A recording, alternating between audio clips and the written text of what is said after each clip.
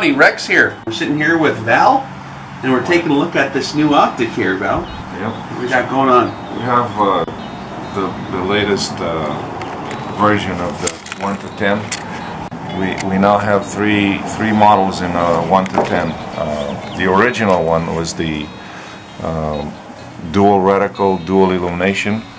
Uh, and then we have the second focal plane and by popular request and demand, uh, we got finally a 1 to 10 first focal mil mil.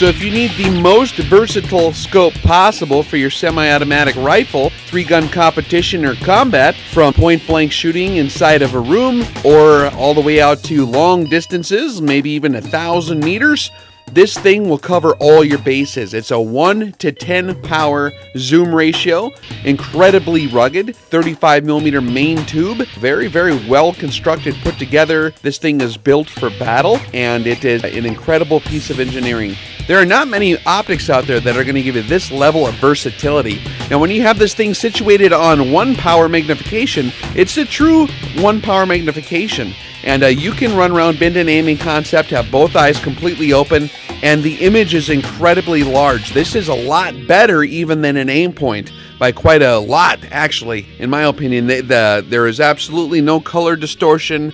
There's no image distortion. The glass is incredible. There is no loss of light. It actually uh, gathers an amazing amount of light considering the small 26 millimeter uh, lens because of the high quality of the glass. Uh, when you crank it up to 3 power, you have something that's decent for medium range.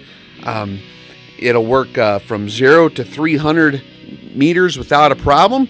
If you need to get out there at your longer ranges for most of your 223 308 caliber type platforms, uh, the 6 power is going to cover those bases quite well. And if you need to do extreme long range stuff, you can crank it up to 10 power and have uh, basically the same magnification that the military has classically used on their sniper rifles for a long time.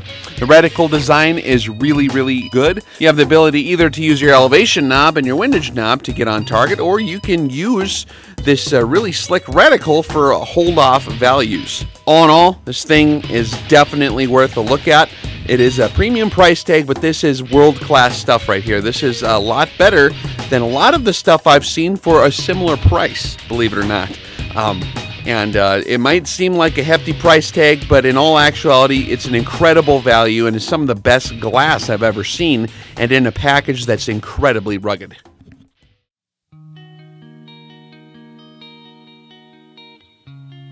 Um, it's a it's a simplified model uh, compared to the one with two reticles and two illumination systems, and quite a bit less expensive, more affordable. Um, we changed the reticle quite a bit. Um, it's a first focal mil mil 0.1 MRAD adjustment clicks, uh, illumination on the left hand side. This one has a, a couple of new features. Um, we have a, a, a, click at 3 power. When it clicks into place, I think you can hear it. Okay, a little and detent, then, yeah. A little detent, and then another one at 6 power. Okay, yep. So um, uh, we, we, we got this uh, uh, suggestion from Pat Kelly, who's one of our top three gun shooters. Um, and uh, the other feature he suggested is uh, locking turrets and we have a very simple uh, device here. Once you once you have your uh, scope sighted in you can lock the turrets. If you're going on a deployment and or uh, you're working in rough terrain and you want to make sure the knobs don't move. Just lock them up just like this. Simple as that huh? Yep. Okay. Done. And the same for windage then when you get to where you get and you're ready for action all you have to do is release uh, that screw and you're back Now, does this have a zero stop feature as well? Absolutely. Uh, let's say you're over here, side it in, and then you want to set your zero stop. You can uh, loosen these three little beady screws.